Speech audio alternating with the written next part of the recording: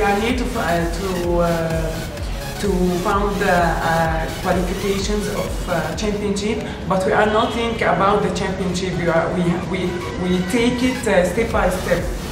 Every match in the row and every match in the ground. If we are playing well, we are win. If we if we not playing well, we are lose.